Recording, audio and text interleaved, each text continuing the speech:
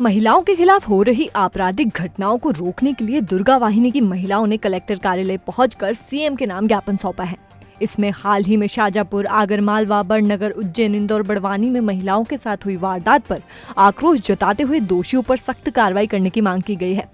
खासकर लव जिहाद के मामले में दुर्गा वाहिनी के सदस्यों ने चेतावनी दी है कि अगर अपराधियों के खिलाफ कठोर कार्रवाई नहीं हुई तो उग्र आंदोलन किया जाएगा। कलेक्टर कार्यालय में लव जिहाद के विरुद्ध ज्ञापन दिया गया है जिसमें मांग की गई है कि उक्त प्रकरण एवं लव जिहाद से संबंधित होने वाली घटनाओं को शासन गंभीरता से ले एवं उक्त जाति विशेष के लोगों पर कड़ी से कड़ी कार्रवाई करे। पहुंचाई जाए या सुनवाई करी जाए तो हम थोड़ा सा और कठिनाई से मतलब आंदोलन करने पर बाध्य हो जाएँगे।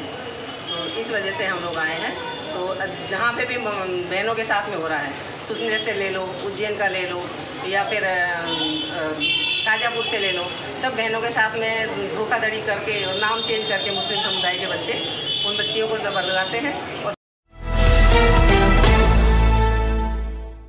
शहर में जन्माष्टमी का पर्व उत्साह व उल्लास के साथ मनाया गया। कृष्ण मंदिरों में आकर्षक साज सज्जा की गई।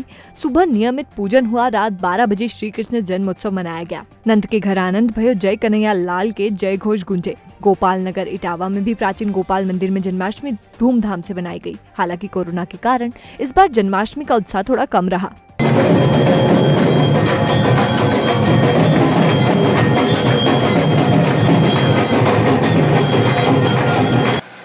गोपाल मंदिर में आज श्री कृष्ण जन्म जन्म उत्सव का आयोजन रखा गया था।